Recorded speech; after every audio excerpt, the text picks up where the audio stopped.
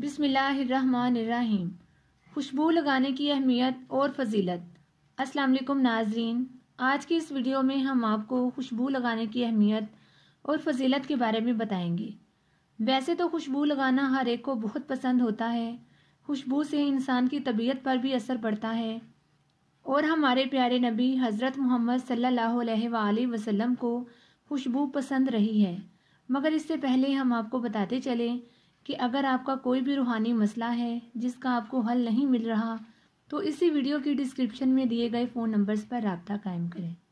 नाजरीन, खुशबू हमारी ना सिर्फ़ तबीयत को, बल्कि रूह को भी तरोताज़ा करती है। खुशबू लगाने से इंसान अपने अंदर खुशी और राहत महसूस करता है। खुशबू लगाने से पाकि का एहसास पैदा होता है। खुशबू की अहमियत का अंदाज़ा हम कुरान हदीस बखूबी लगा सकते हैं। कुरान की रोशनी में सुरतुलनिसा में है। कि रसूल अल्लाह सल्लल्लाहु अलैहि वसल्लम सरकार ने फरमाया, दुनिया की चीज़ों में जो चीज़ें मुझे सबसे ज़्यादा महबूब तरीन रही हैं, उनमें से खुशबू भी है।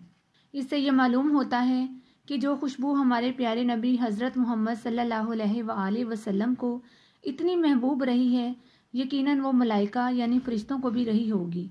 सैदिना अबू हरेरा रजतला अनहों से रवायत है कि रसूल अल्लाह सल्लल्लाहु अलैहि वसल्लम ने फरमाया जिसे खुशबू का तोहफ़ा पेश किया जाए तो उससे लुटाए नहीं, क्योंकि वो एक खुशबूदार है और उठाने में हल्का है।